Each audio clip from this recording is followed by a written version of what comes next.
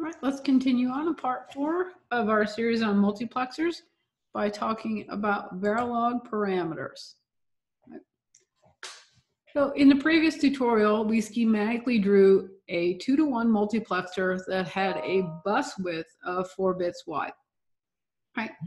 We want to see how we would handle that in Verilog.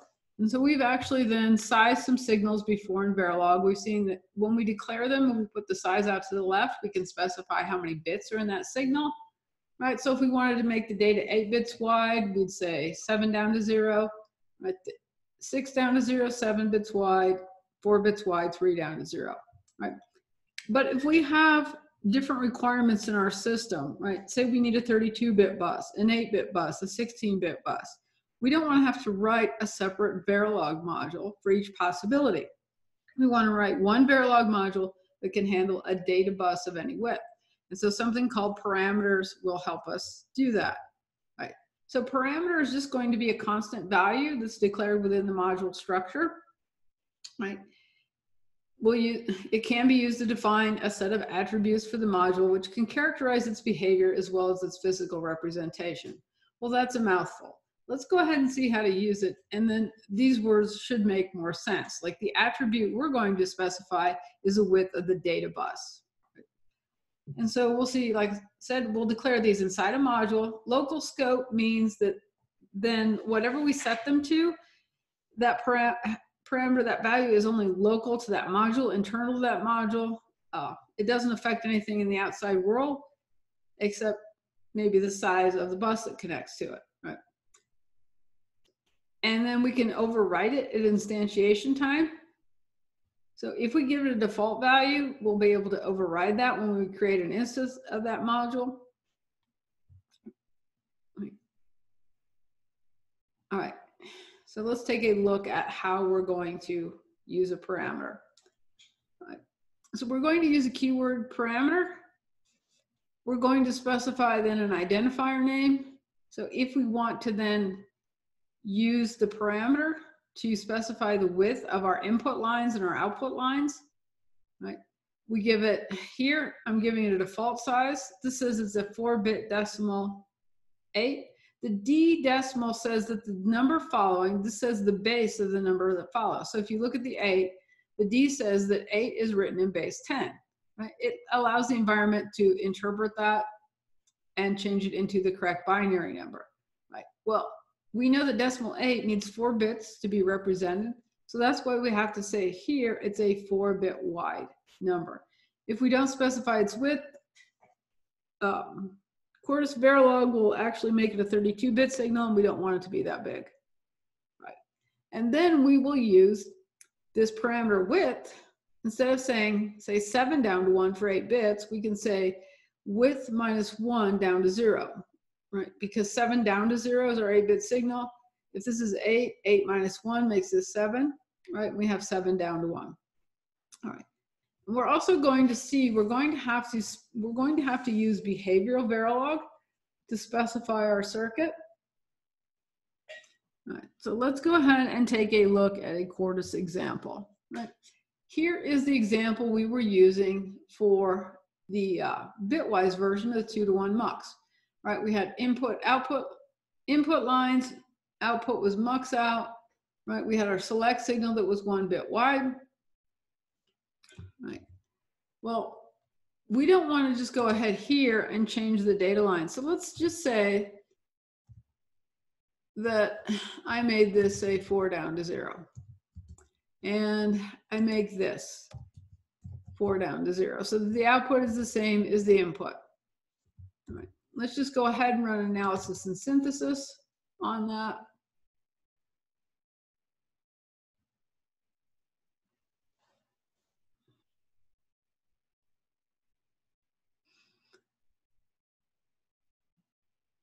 All right, we're waiting for its output and we're waiting to see a warning that it generates. All right, so previously we've only seen this warning on number of processors, which I said we could ignore but we have to then always look at the other warnings it generates. And if you get a big long list of things, if you want to go see just the warnings, right here on the yellow triangle, click on that, it'll show you the warnings.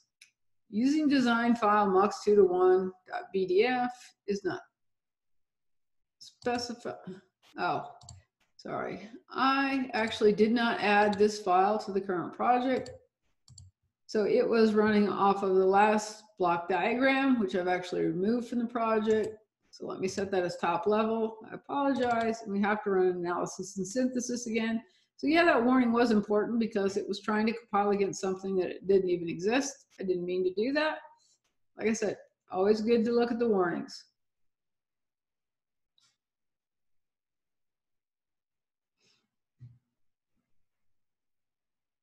All right, so our warnings scroll by. I'm gonna click on this, and this is the one I wanted you to see. Design contains four input pins that do not drive logic. Notice there's a little arrow out here to the left if you wanna see more. All right, no output dependent on pin I1, I2, I3, I4. All right, oh, I did say four down to zero, which gives us five bits wide. All right. No output dependent on input pin I1. Hmm it's not complaining about I, zero, I1 at bit zero, right? And it's not complaining about I0. Here's the problem. When select is one, it's going to drive then the output, right? The output will be whatever's on line I1. And here's how bitwise comparisons work. So when select is a one bit binary one. I1 is five bits wide. All right, maybe I'll use multiple line comments. Okay, so let's say, let I1 be equal to, right, a five bit binary one, one, one, one. Let's just say that that is what's sitting on line I1, right? The operation of S and I1 will look like this. Bitwise means it compares bit pairs, right? When they're both the same size, so when S is a one bit signal, I1 is a one bit signal, we have no problem. But now that there are multiple bit signals, it's going to do something like this. It's going to create something like this, you can think of S as being represented by a signal that looks like this, where the value of S is going to go in the least significant bit position. I1, well, we just said that I1 is represented by this. So what happens, right, when we and S and I1? My, it is a bitwise comparison. Well, what is zero ANDed with one? Zero, zero, zero, one. And the result of this then, the result of this term, what would come through on the output line, if these were actually connected driving logic, would be zero, zero, zero, one. But we know that when S is one, the multiplexer output should give us whatever's on this input line. We should see all five ones. Well, The problem is, is there's that mismatch between S being a one bit signal. And this is why we do not use then bitwise operators that are of different widths in these expressions. Now, there are methods where we could concatenate bits of one onto here and force this to be one. Um, those are a little bit beyond our scope of what we're doing right now, and it's not a great solution for us. What we want to do is we want to go to the behavioral Verilog that we've seen. Right?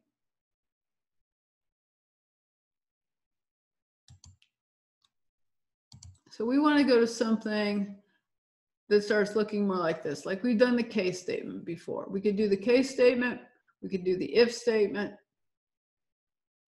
right? So let's bring up a Verilog module right, with the case statement.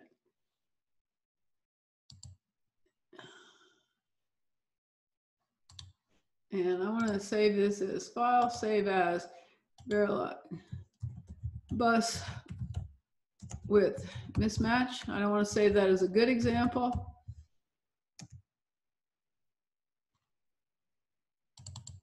And this was my good example. I want to go back and clean that up for future use. I think that should be fine. All right, so let's remove these two items from the project. Let's go out and find that case example or. Mm -hmm.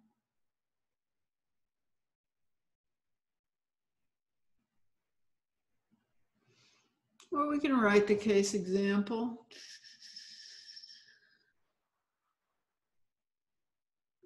Here's the if.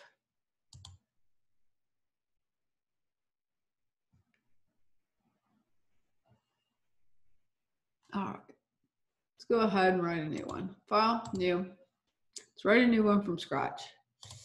Verilog HDL. All right. 221 mux width. So the width defines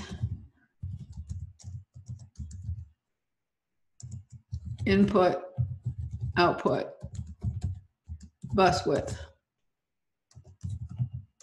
All right, so module, mux, two to one do the case. All right, so let's still have N0 or I0, I1, S, and M. All right, and we're still gonna say input. No, sorry, we're gonna say parameter. All right, we're gonna call it width, and we're going to say it's a four bit binary. I'm gonna say it's a one zero zero, right? Decimal value. Eight, okay. Now let's use it to define, so actually I should say constant value, right?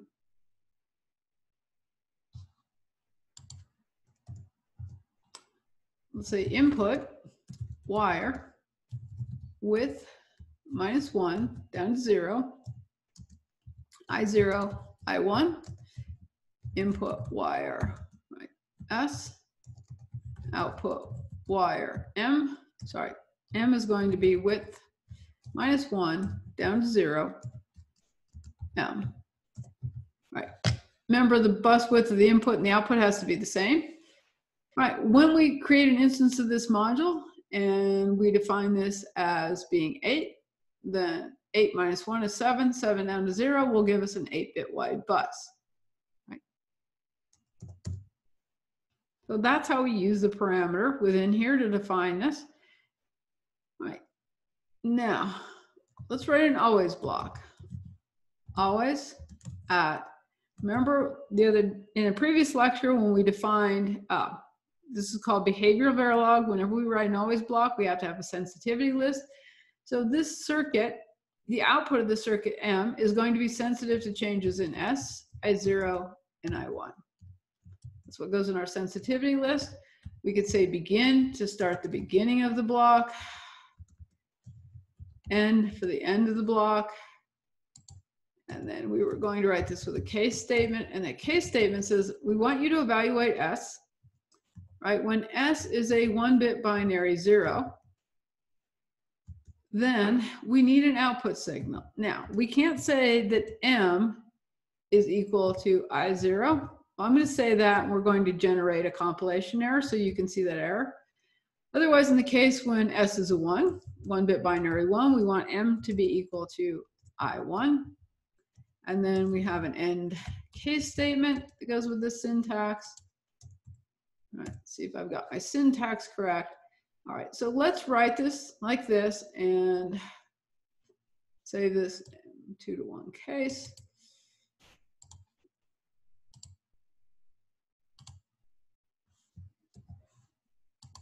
All right, that adds it to the project environment. Let's make it the top level entity and so we can compile against it. And let's wait for that error to pop up.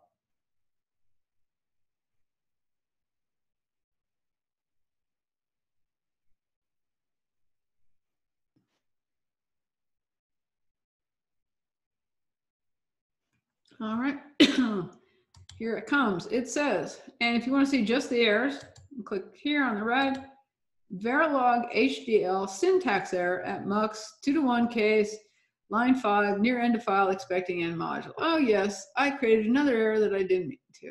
I seem to be good at that some days. Some days just better than other, right? End module. I'm sure you probably all caught that. Well, I was busy talking and not thinking. So now we, ha we have to save. So anytime you make a change, you save it and you have to run analysis again till our errors go away, but we should still see an error coming up with this. I'm gonna close that, close this, close this. We're just interested in this one. Here we go. All right.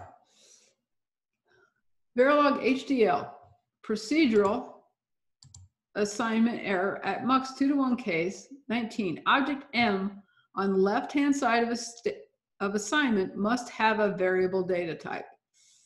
So here, number 19 and number 20 must have a variable data type. What that means is this has to be a reg type.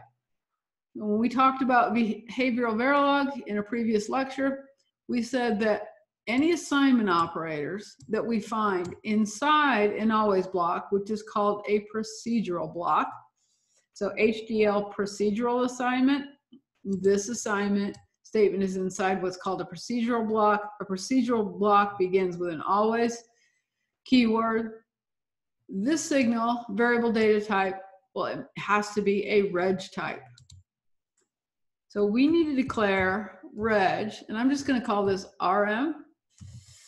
And uh, the I'm going to assign then the reg information to the wire eventually. So that has to be the same width as M. All right, sometimes I just call the reg variables, I add an R into the name, so I know that that's the reg version. We have to assign then to M the reg signal. So out here, this is continuous assignment. This basically represents hardware. It does represent hardware. Continuous assignment is a way of wiring this reg signal to the output. Here, then we use our reg signal. So these have to be a reg type on the left-hand side. Right-hand side could be any data type. Here in this continuous assignment statement on the left-hand side of this continuous assignment statement, left-hand side has to be a wire type, right-hand side can be a wire, constant, reg, any type. All right, just things in the syntax we have to get used to. All right, I saved it. Let's run analysis and synthesis again.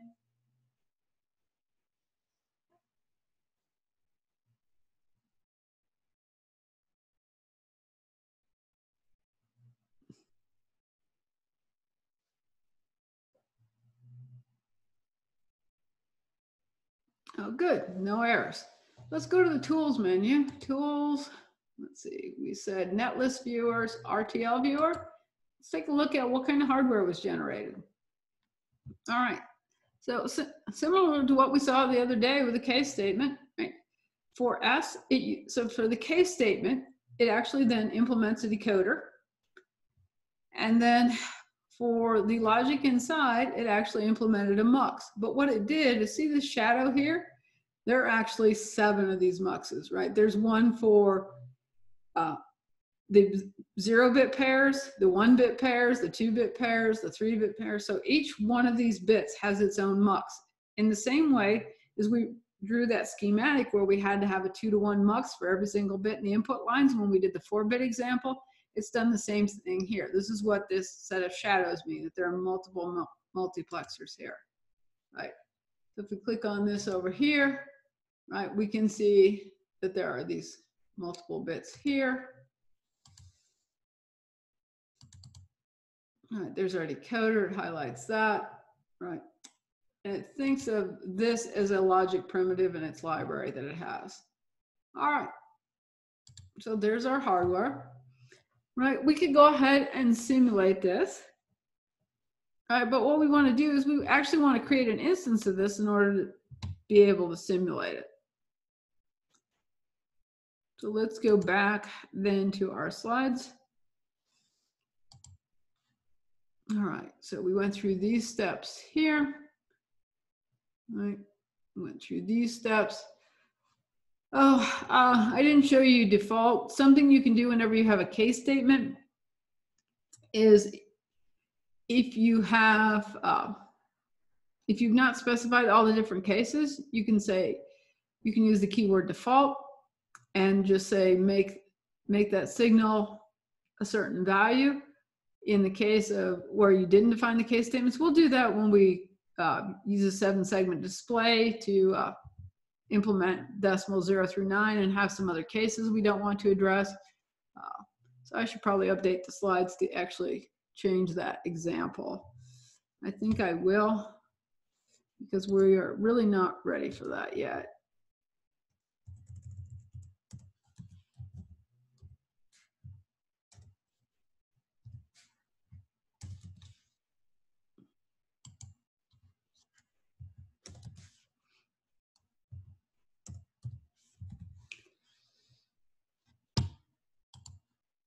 All right, so let's define both of those cases.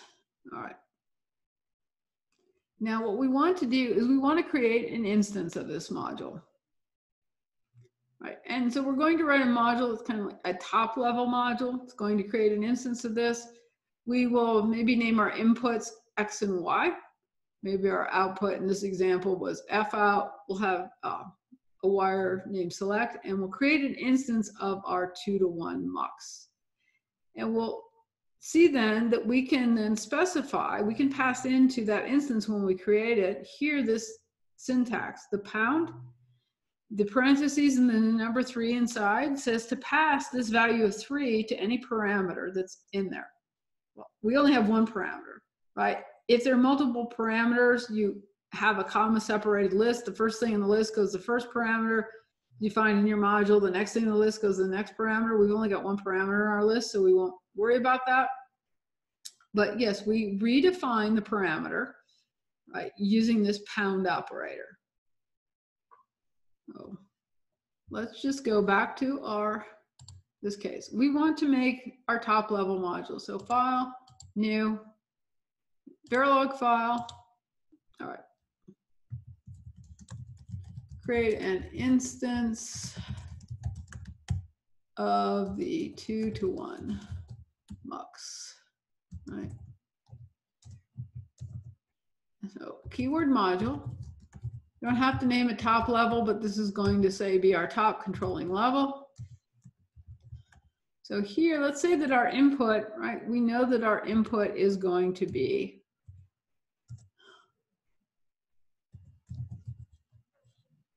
four bits wide. I'm going to call it X. I'm going to call it Y.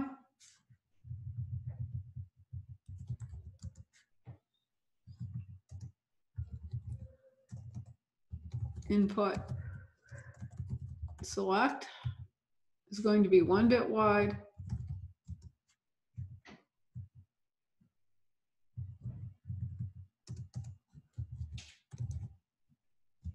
Output wire, well, the output, if it's the output for the mux, needs to be the same.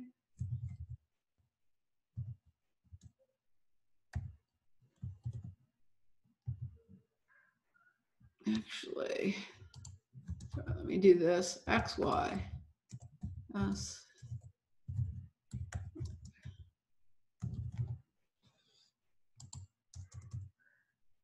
Let's just do this. All right.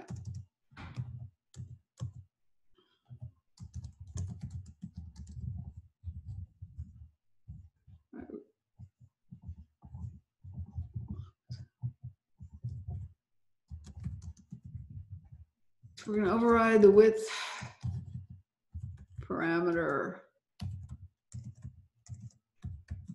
default value, right? So when we create an instance of a module, we use the module's name, right? Here's the module's name.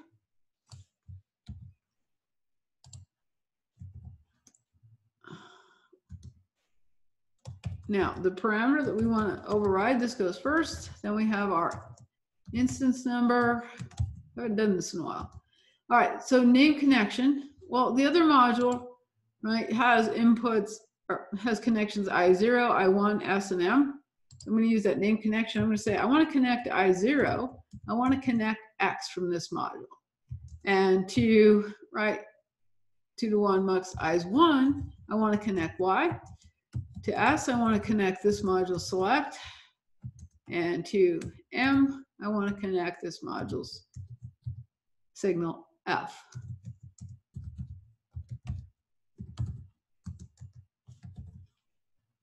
And all right, call that top level. Let's set it as the top level. Let's run analysis and synthesis.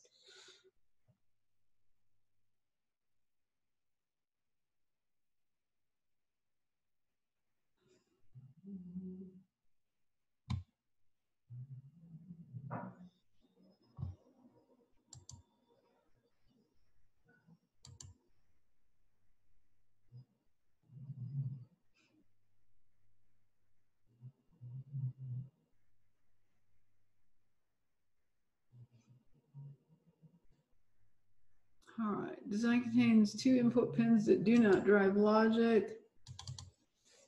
Oh. That is because I made this a four bit wide signal, right? And I said to only make this a three bit.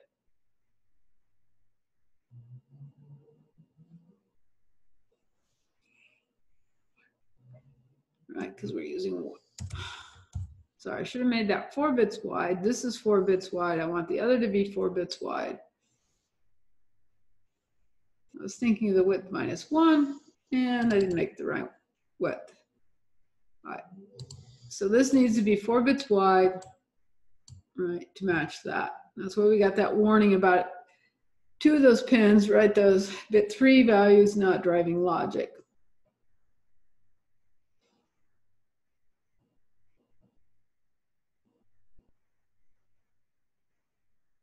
All right, only got that parallel compilation warning. Let's go ahead and simulate this. Well, new vector waveform, set end time. Let's see.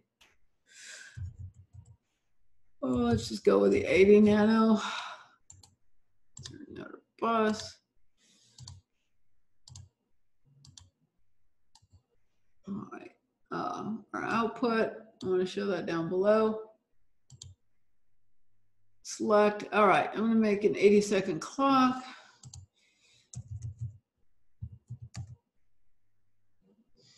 All right.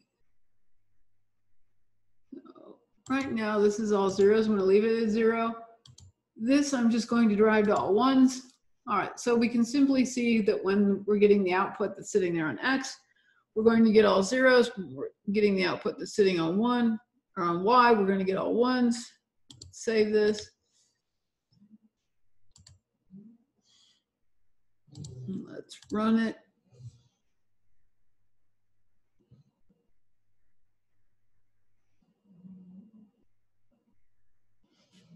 All right, so let's take, so notice right here, X is eight bits wide. It actually created a piece of hardware using that module that was only, sorry, I said eight bits. It's four bits wide.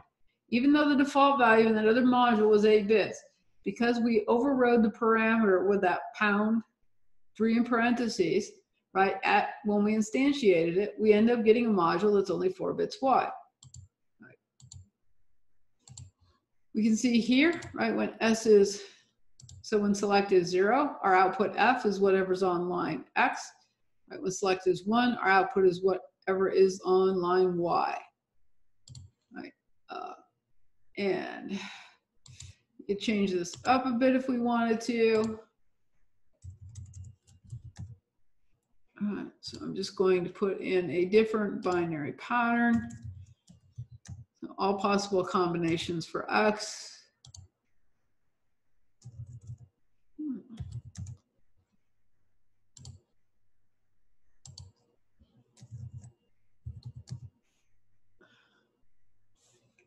Control S to resave. Let's resimulate.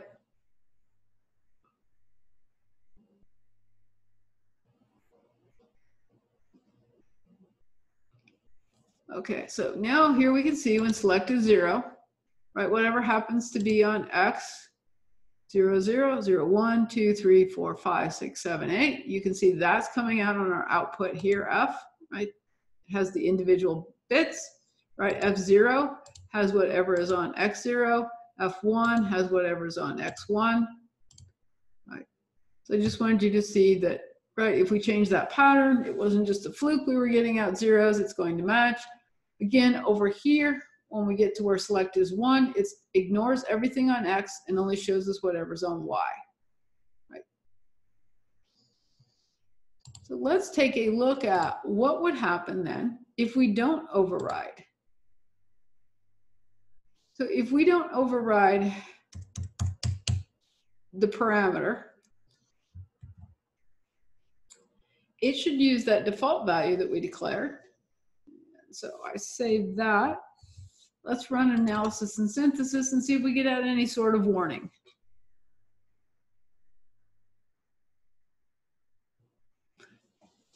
What I'm doing now, let me make that clear, is a bad idea, right? We've got a default parameter of eight. Our top level module is only four bits wide. It's a bad idea to do that, right? And I want you to then see hierarchies have connectivity warnings. See the connect connectivity uh, checks report folder. Oh, and then I have to remember where that one is.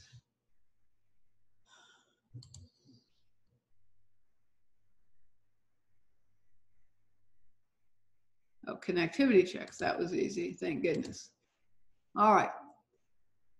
So I went to the compilation report. It said, that, see the connectivity checks report folder. Right under analysis and synthesis, connectivity checks, click on this. You can see then I1, input warning. Input expression is four bits. Right, S7 down to four will be connected to ground. So SIO 7 down to 4 will be connected to ground, right? I1 7 down to 4 will be connected to ground, right? M output, right? 7 down to 4 has no fan out. So that means it has no connections. When you say something's connected to ground, it's going to be a logic 0, right? And so what it's telling you, right, it's throwing this warning simply because we have a default parameter in here that says make this 8-bit wide. When we don't override this, this will then make this 8 bits wide because we've defined this constant value of 8, decimal 8. So I want you to be aware of those things, right? You always have to match the bus width size, the signal size. It's extremely important to do that. Always pay attention to the warnings that are generated, right? When you see warnings like this, don't ignore them you have to figure out what's wrong with your design because in the long run, your design will not work correctly when you ignore warnings. All right, so one last thing about parameters here. There's another way that we could override parameters. It uses a keyword called defparam. And what that does is you use the name of the, or the instance name. In this case, right, there's a module named mux2 to 1 parameter. The instance number of it was 2, right? So we plan to call it two. So if we say inst2.width, we can use the actual name of the parameter within that module to set it here. And we don't have to pass that sort of generic, that generic pound three list and wondering maybe which parameter is going to be changed. Uh, so that dot notation is used to access the particular parameter. Let's just see if that works here. It should. So we say def param in this case, I call this instance zero. So instance zero dot width is going to be equal to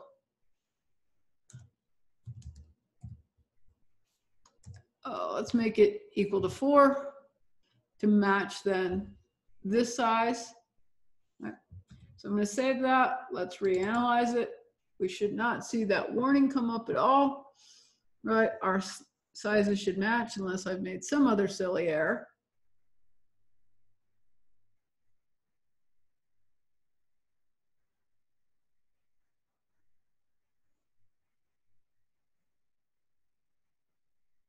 All right, no warnings. Uh, yeah, if we were to open this back up, we still have the same signal names.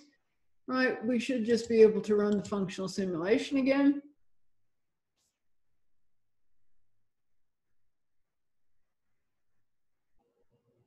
And of course, then we got the same results because we set this to the same correct widths and we already had our inputs defined. So that's how you can work with parameters in Verilog modules, right? It makes it then easier for us to write one module and then use it in other modules like we did here. We create an instance of it, right? We specify, we have, we can use def param to specify its width kind of like that method better than the pound method. Um, it's a little more clear which parameter you're setting in which instance number? Especially when you have multiple instances that may be different sizes. Now for us, in this case, the mux won't be. All right, that is the end of this lecture. All right, the next lecture will be on how to build larger multiplexers, right, such as four to one multiplexers. All right, thanks for watching. Practice some of this on your own. As always, take notes, right? Create these yourselves, run them, simulate them, get a feel for how they work. The more you understand about them, the better able you'll be able to use them in your labs and the better you should do on the test.